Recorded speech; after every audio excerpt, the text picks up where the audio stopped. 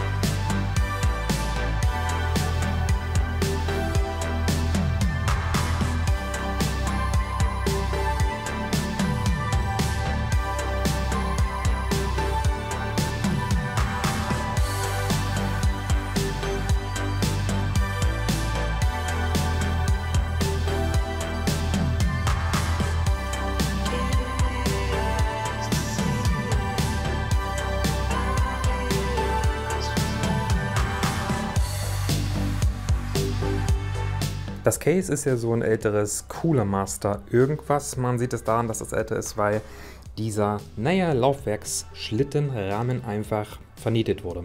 Man kann ihn nicht ausbauen, respektive rausschrauben. Generell sieht man ja den äh, ja, Zustand vom Innenraum. Sehr viel Dreck, feiner Dreck, grober Dreck, überall sehr viel Dreck.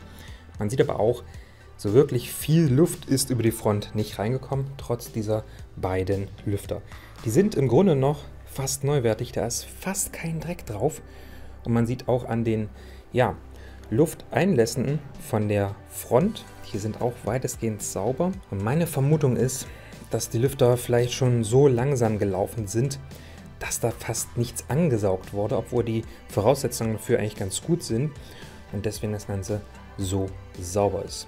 Also vielleicht hätte man sich die Lüfter auch sparen können, wer weiß. Aber gut, sauber machen müssen wir sowieso. Unterstützt wird das Video von iFixit. Es kommt oft die Frage auf, welches Werkzeug ich nutze. Nun, ganz klar aus Überzeugung das von iFixit. Das ProTech Toolkit bietet 64 Bits für gängige als auch exotische Schraubenprofile und sämtliche Tools für Smartphone oder auch Notebook-Reparaturen. Die perfekte Ergänzung das beschreibbare Magnetic Mat, damit dir keine Schraube verloren geht. Mein Favorit das Manta Precision Bit Set inklusive zweier Bithalter und 112 Präzisionsbits und dazu noch die praktische Sortierschale und du bist perfekt ausgestattet für den nächsten PC-Bau. Mit dem eingeblendeten Code bekommst du 10% auf alles. Es lohnt sich definitiv. Mehr dazu in der Beschreibung.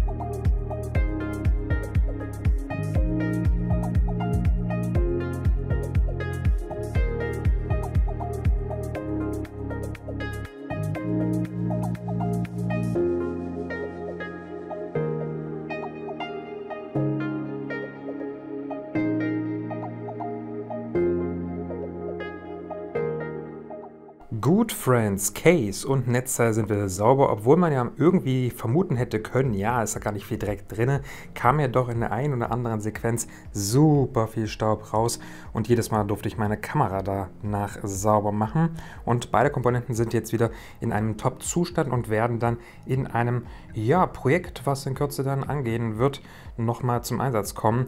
Denn ja, man könnte zum Beispiel das Case erneut verwenden, aber irgendwie ist das doch ein bisschen lame, nicht ganz so zukunftsorientiert, beziehungsweise auch nicht ganz so modern und RGB fehlt ja sowieso. Aber jetzt kommen wir erstmal zum Mainboard. Man könnte ja meinen, obwohl die Plattform an sich B450M Pro VDH mit einem Ryzen 5 2600 noch gar nicht so alt ist, nur die AM4 Ryzen Plattform ist ja noch relativ modern und aktuell, ist es aber trotzdem so, dass hier schon sehr viel Staub äh, sich gesammelt hat. Das PCB ist an sich braun, aber wenn man hier so ein bisschen drüber geht mit dem Finger, wird der Finger von schwarz gern mal grau. Nicht so cool. Gleiches auch beim CPU-Kühler. An sich relativ moderne Plattform. Ich habe gesehen, der Arbeitsspeicher wurde im November 2018 hergestellt. Ich denke mal, bis das Ding im Verkauf war, wird es wahrscheinlich schon 2019 gewesen sein. Bedeutet jetzt genau drei Jahre alt das Ganze und dafür schon recht dreckig.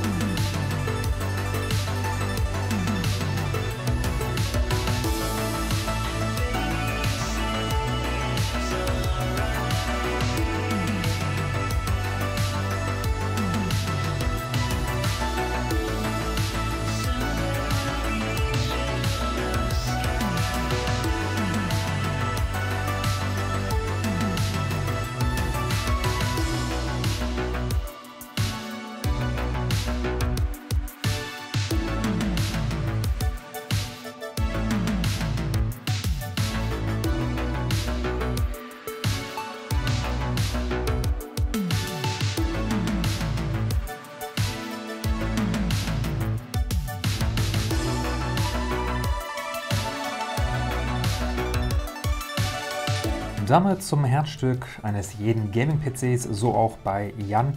Und hier haben wir eine auf den ersten Blick gar nicht wirklich erkennbare Grafikkarte. Die bietet keinerlei Informationen oder ein Design, was man von bekannten, renommierten Herstellern kennt. Aber ich habe herausgefunden, es ist eine RX 580 von Power Color. Also eine damals wahrscheinlich sehr günstige Karte, Design egal, Hauptsache Funktion, Hauptsache Leistung. Kann ich absolut nachvollziehen, wenn das Budget generell begrenzt ist. Der gröbere Dreck hier oben drauf ist beim Herausziehen der Transportsicherung so einmal schön drauf gerieselt, auch so ein bisschen was aus dem CPU-Kühler raus und wird wahrscheinlich jetzt gleich hier so schön runterrutschen. Ne, das dachte ich mir nämlich. Ja, und die andere Seite sieht so aus. Hier gibt es äh, auf jeden Fall ein bisschen was zu reinigen und ich würde sagen, lasst uns mal mit dem guten Stück hier anfangen.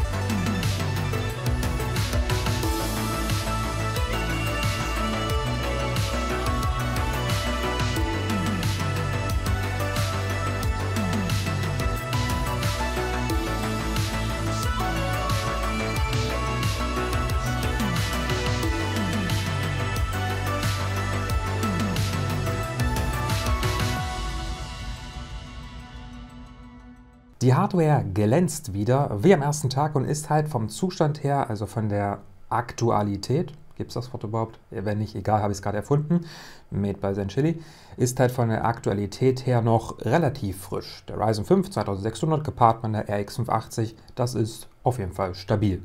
So, da dachte ich mir, das kann man so lassen. Gehen wir auf jeden Fall mal voll auf RGB und Funktion. Warum Funktion?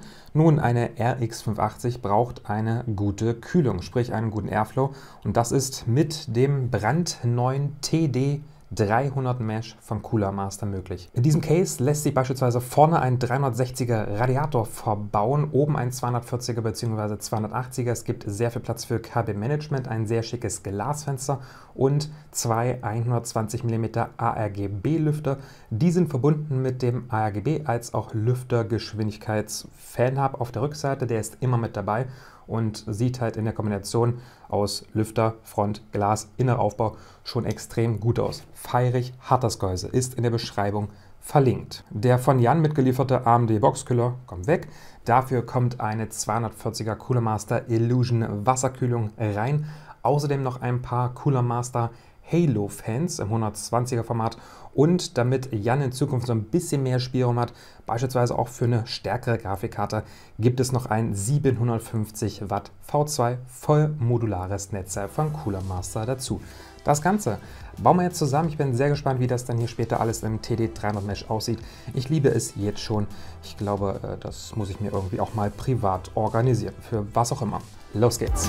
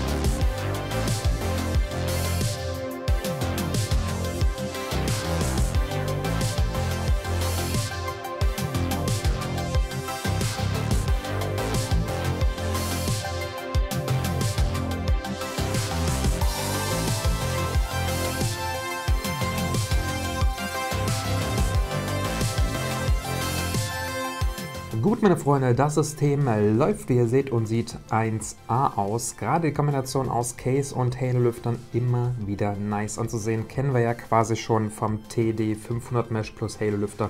Das ist halt einfach on point nice. Jetzt kommt natürlich die Frage auf, hey, wie kannst du denn jetzt die ARGB-Lüfter irgendwie steuern, weil das Mainboard hat ja gar keinen ARGB 3-Pin 5 Volt Header. Das ist ja einfach zwei Optionen und zwar einmal über den Reset-Taster vorne am Case. Der steuert wiederum dann den beim Case mitgelieferten RGB Fan Hub mit an oder man könnte auch auf den RGB-Controller zurückgreifen, der bei der Wasserkühlung mitgeliefert wurde, der per USB dann ans Mainboard angeschlossen wird und halt über eine spezielle coole Master Software so ein paar Effekte bereitstellt. Ich habe auf den verzichtet, habe es einfach über den RGB-Controller vom Gehäuse gemacht und der gute Jan kann dann später, falls er einen Mainboard-Switch macht, noch das offene oder frei verfügbare 3-Pin-RGB-Kabel anschließen. Sechs Lüfter sind jetzt hier verbaut. Wie wird das Ganze gesteuert? Letztendlich über einen einzigen Anschluss, denn dahinter sitzt quasi der Fan- und RGB-Controller vom Gehäuse. An diesen sind über diverse Splitter, die übrigens mitgeliefert werden beim Dreierpack der Halo-Lüfter oder auch bei der Wasserkühlung. Also ist ziemlich geil gemacht. Jetzt habe ich auf der Rückseite noch einen weiteren freien Anschluss für irgendwas anderes. Keine Ahnung, ist zwar nicht nötig, aber äh, es wäre möglich. Und so funktioniert das Ganze. Die Lüfter laufen jetzt mit 800 Umdrehungen pro Minute. Das ist auf jeden Fall von der Kühlleistung her kommt einiges raus und ist echt leise und angenehm. So soll es doch, denke ich mal, auch sein. Damit kommen wir zur Tüte der Schande, wie viel Dreck dann hier letztendlich jetzt drin ist. Bedenkt bitte, dass ich heute viel mit dem Luftdruckgerät oder Druckluft, Druckluftgerät, ich verwechsel das immer wieder, gearbeitet habe und deswegen natürlich nicht alles in dieser Tüte drin ist. Aber schauen wir einfach mal.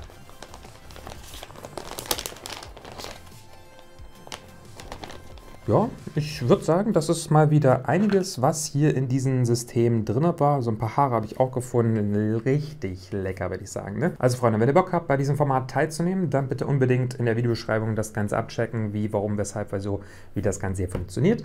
Und dann sehen wir uns in der nächsten Episode wieder. Bis neulich, ganz genau. Ciao.